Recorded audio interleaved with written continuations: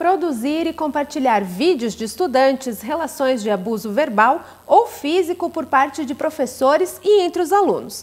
Várias formas de relacionamento e tratamento no ambiente escolar expõem violência cotidiana que tantas vezes é silenciada. Chamar atenção para situações de assédio nesse ambiente escolar, em especial entre os jovens, é o objetivo de uma campanha lançada pelo PET Psicologia. Através de vídeos curtos, os estudantes recriaram algumas situações embaraçosas como forma de chamar atenção para casos de violência. E para falar sobre o assunto, nós recebemos hoje a professora Alessandra Bianchi, do Departamento de Psicologia e coordenadora do Grupo PET. Seja muito bem-vinda, professora. Muito obrigada. E então, para começar, como é que vocês chegaram nesse tema de assédio? É muito importante debater esse tema? Isso é muito urgente agora?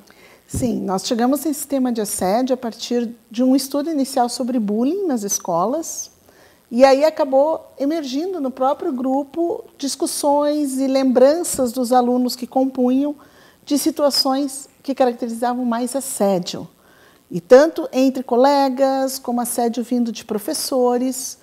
E o que chamou muita atenção naquele momento do grupo foi que as pessoas diziam que elas só reconheceram que aquelas situações eram situações de assédio quando elas já estavam na universidade.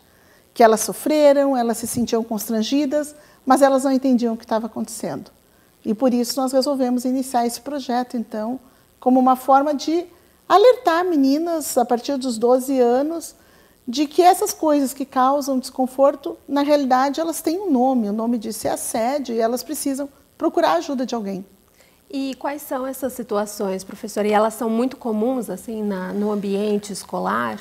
Infelizmente elas são mais comuns do que a gente gostaria e eu convido as pessoas que estão nos assistindo a perguntarem para adolescentes que circulam no ambiente que elas circulam para ver quanto isso acontece. Então são situações desde o tipo de situação de professor passando a mão em alguma parte do corpo, de professor sentando a aluna no colo, de meninos tirando foto das meninas em posições que depois acabam se tornando constrangedoras nessas fotos, de namorados forçando a barra para que as meninas mantenham relações sexuais. Então, são várias situações em vários ambientes, até mesmo nas casas, muitas vezes, um pai assediando as amigas das filhas, e, ou seja, situações que às vezes a gente não imagina que elas estão acontecendo e elas estão aí, fazem parte do nosso cotidiano. E vocês selecionaram alguns temas né, para a produção desses vídeos. Como é que foi essa seleção e a produção mesmo dos vídeos da campanha? Primeiro nós fizemos um levantamento de que temas eram mais recorrentes nesse contexto de adolescência. Né? A partir disso, nós começamos a trabalhar em como contar, falar sobre esses temas de forma que fossem vídeos curtos, que pudessem ser facilmente distribuídos nas redes sociais e que não tivesse nenhum problema de censura devido à idade das, das adolescentes para as quais eles eram dirigidos. Então, inclusive, nós chegamos a discutir os roteiros, os vídeos com uma promotora do Ministério Público Estadual. Nós também uh, fizemos várias discussões entre nós do que mostrar, do que não mostrar, do que, que poderia se deixar para ser inferido pelas adolescentes.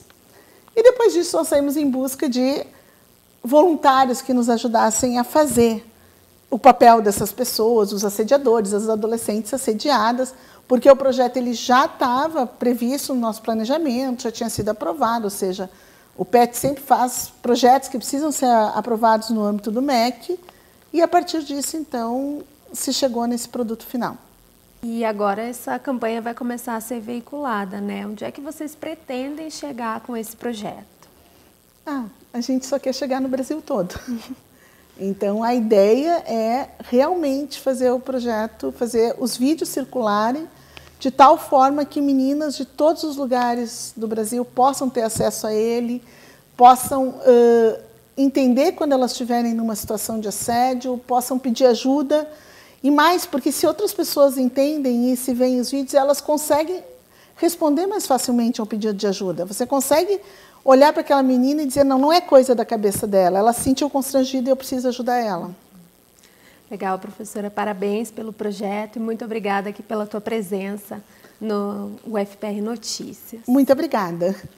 E se você quiser saber mais, a partir dessa semana, os vídeos do projeto na nossa grade de programação, eles vão estar disponíveis e também nas nossas redes sociais. Lembrando que para saber mais informações ou encaminhar denúncias, você pode utilizar o endereço humanizaredes.gov.br barra ouvidoria-online.